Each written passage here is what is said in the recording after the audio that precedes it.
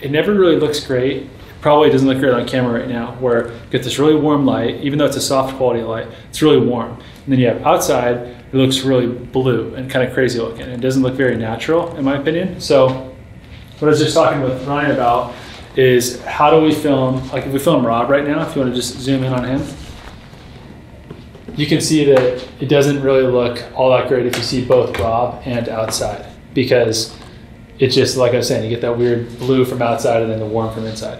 So then if we jump back over here, what, what we're gonna do to compensate for that is we'll end up turning off these lights on the interior, just completely eliminating them. And what we'll do is we'll bring up the level of the room. So I'll jump behind the camera and I'll show you what I'm talking about. So instead of trying to be this kind of like weird in between where you got the blue on the outside and the warm on the inside, his skin looks too warm, outside looks too blue. It's just, it's not a vibe. So even though the shot looks cool, there's a lot of depth, what I'm gonna end up doing is I'll put the white balance, let's see if we can change this while I'm recording. So what I'll do is I'll put the white balance at 5600 and then I'll set my exposure for the outside. We're setting it to the thing we can't control. So now my highlights are not nuked out. They don't look crazy. And then Justin, if you'd be so kind to go and adjust the lights, so you turn the lights off.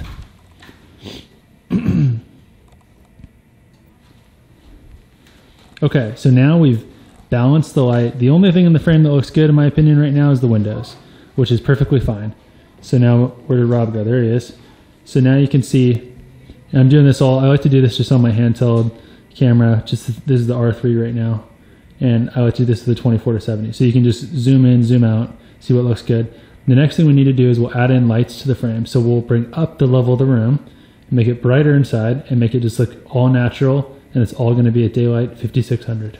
All right, so right now I'm going to get the lights on 150. I'm going to put it on one of the 600Ds. Rob's grabbing the other 600D from the van, and then we'll also have a 300D. And So basically, what my thought is initially, without seeing anything yet, is we'll do one 600D through the big 150. So it's this big soft source. You can push in without looking too sourcey. Uh, and sourcey just means it's like, you know, where you can really tell there's a light lighting some guy right out of the frame. And then what we'll do with the second 600D is we'll basically just bump it into the ceiling. So just shoot it right up because we have a white ceiling. It's effectively like a big giant bounce up there. So that's just going to elevate the amount of light that's in the, the total room. So it's going to lift the, the level in the room. So you remember the initial image I showed you where it's just really dark? That's going to help lift up the room so it doesn't look so like there's a guy who's lit and then the background that's bright, but then the room's dark, which would look kind of weird for a corporate video.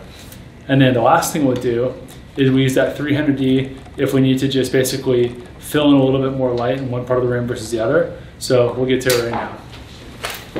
All right, so here we have Justin. You can tell inside it's looking super sourcey. We got our 600D there. And here's Justin. So if our shot was like this, we expose down a little bit. You can already tell it's looking more balanced at the outside. My white balance is at 5600.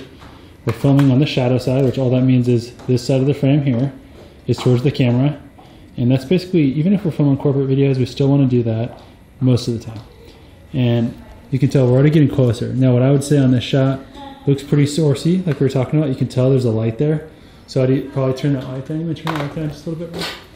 Just a couple of clicks, a little more, a little more. Okay. That's decent, maybe up just a tiny bit more. And so now the problem we have to fix is the room looks too dark. His face looks pretty good as far as exposure wise. He's a beautiful man. and uh, the next thing we need to do is basically our highlights are still pretty bright there, so maybe we expose down just a tiny bit in camera. And then we can come up on that light just a little more. And we'll put basically a light into the ceiling, which should have us in a pretty good spot. So we've added two more lights from the initial one. Um, I'll put on the screen what it looks like with just the one. Like I said, it's pretty sourcey. And then now we've added our two extra lights to basically fill in the ambient room. Uh, this particular one, Justin, just asked, you want to come a little closer? So this is the 600D. I really love this light. You guys have seen me talk about it before, but this one is just the 600D standard. It's the non-pro. Now, in my experience, they're effectively the same light, except this one's just a lot cheaper, which is really nice. It's a way to save, I think it's like, I don't know, $700 cheaper or something, but it's same power. I think you lose out on some weather resistance and you lose out on a few other things like dimming. It doesn't dim down to like 0.1%. But all in all, it's a great light. For today's use, doesn't make any difference whatsoever. Still powerful. and it's going to be able to give us that lift in the room that, that we need. And Justin asked if I want to use this reflector, if it makes a big difference using a softbox. It makes a little bit of a difference, mostly in that it kills output. So if this is too powerful, I could just throw a softbox on there. However, since we're bouncing it into a white ceiling, if you want to just pan up there real quick, show that ceiling, and then come on back. So since we're bouncing it to a white ceiling, it really doesn't make a giant difference because the ceiling now effectively becomes our light source. It is the light because the light's spreading across that white ceiling and then it's coming back down just from the, the same direction that the house lights would. Now, the, the main difference would be instead of coming down at that 3200 color temperature like our original lights were, now it's going to come down at 5600. It's going to match that outside exterior and it's not going to have that weird blue outside, orange inside look. It looks a little more professional in my opinion.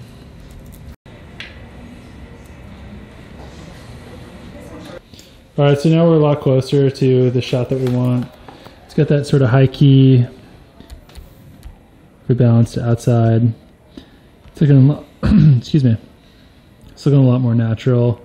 Now, when I shoot this on the actual cinema camera, not just the R3, outside should be looking pretty good. It's still probably clipping just a tiny bit, not much though. But either way, it's a little bit of shape on the face, still have that shadow side toward this, the camera and we're not getting too much of a sourcey look. That looks a little better, in my opinion, than our original shot. So even for these corporate things, I'm still applying the same principles that we would on just basically a shoot that you do want a bit more of a cinematic look. Um, I think we got everything out of there, didn't we?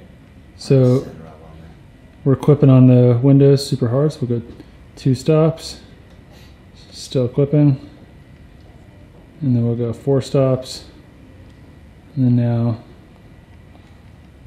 tiny bit of clip but that's okay it's bright and I'll check my LUT on and off I can see I'm not really clipping looks pretty good next thing I'll address is house lights go off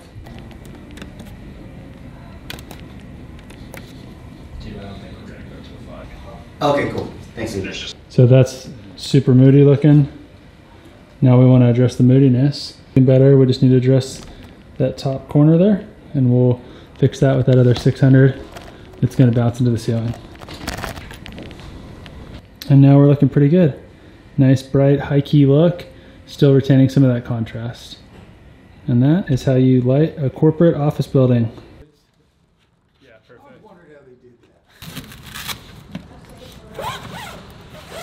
So right now we're getting the Aputure 600D out, and one of my favorite things to do, and you know what's kind of a boring conference room, is you can put like a slash of light or like a ray of light, because we had one in the beginning when the sun was in the perfect position, but because the sun quickly moved out of the out of the way, now what we're going to do is we're going to recreate basically the same thing that it was doing, same direction, same light quality, and the way we're going to do that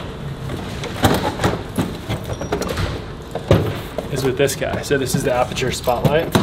The spotlight mount's super cool because it creates a really hard source and it's really easy to basically focus the light, make the edges uh, harder or softer, and you can put different gobos in there, which basically creates different qualities to the light. So if you want to make a streak like, like what would be coming from those uh, window blinds, we can basically do that with the spotlight.